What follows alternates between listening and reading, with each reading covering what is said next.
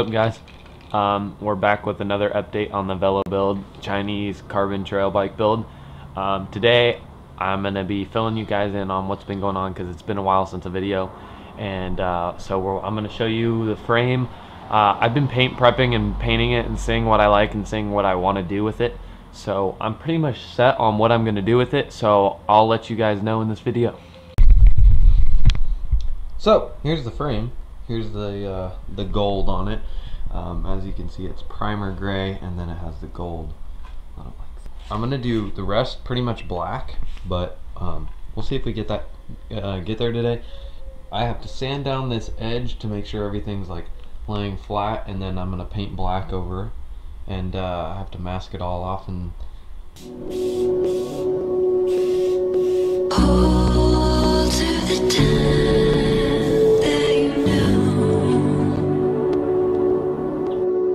Locked in my room, four black walls, the noose, no recall, no result, fuck withdraw, rather shoot. Okay, so there it is. I um, just sanded down the down tube and repainted it in the gold, so you guys can have a look at that. There's still a few spots that I don't like, like a few imperfections you can see, but that will do. I think it looks pretty good.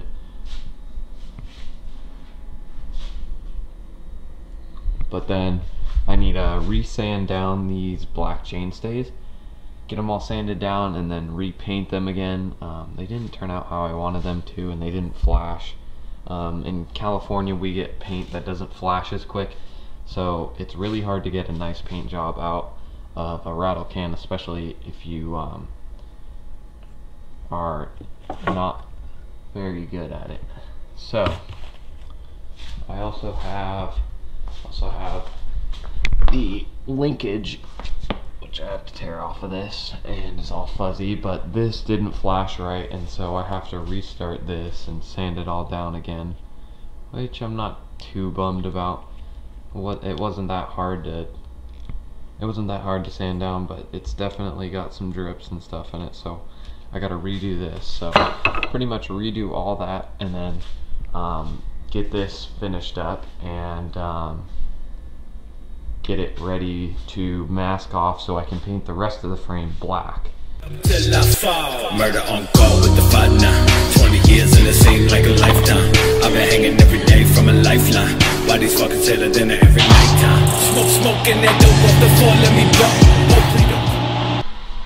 Alright, what's up guys? Um, so we're back after those time lapses and we're now on to um, doing the paint splatter effect on the frame.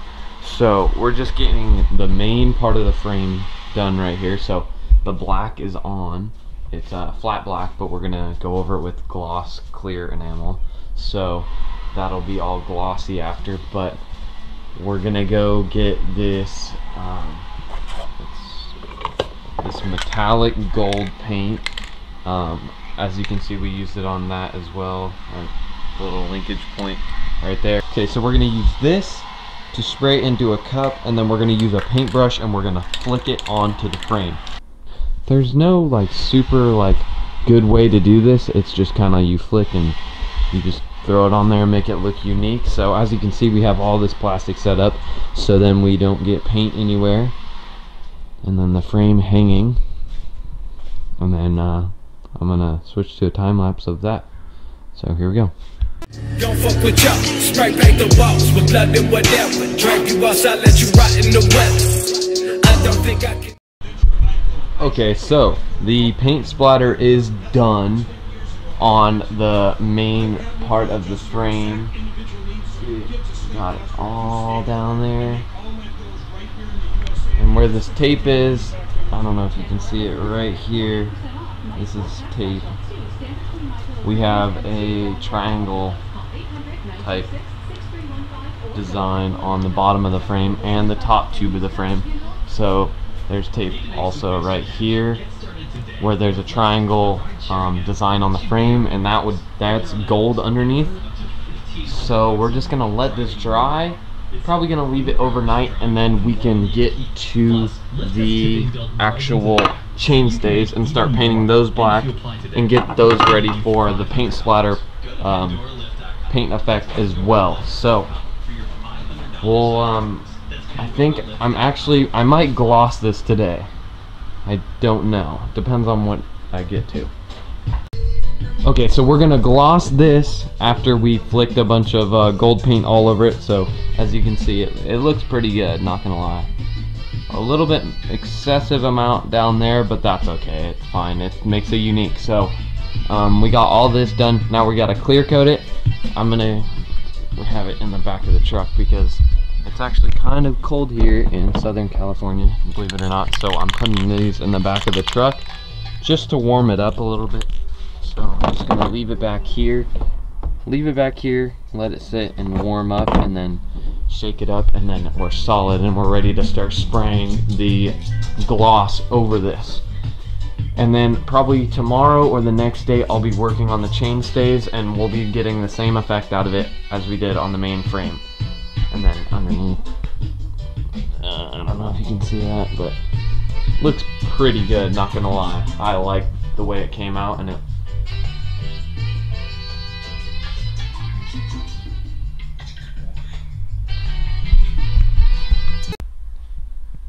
Okay, so that last time lapse you saw was a um, time lapse of me doing the paint splatter, but I didn't get a time lapse of the clear coat, but the clear coat is on if you couldn't tell.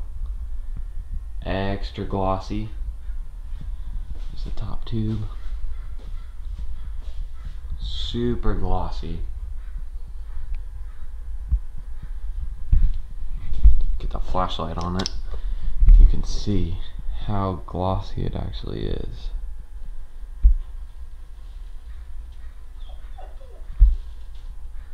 But yeah, so now that we have that done, we just have to wait for this to dry and then we can get our chain stays done. So, alright, we'll get our chain stays done and then we'll get this all, this linkage point all painted up black and then we'll paint splatter and gloss it and then we'll be able to put the new bearings in and then put it all together. The new bearings will be in a, in a different video. This is just strictly paint episode. So so next part you're gonna see is the chainstays getting paid, painted. So here we go.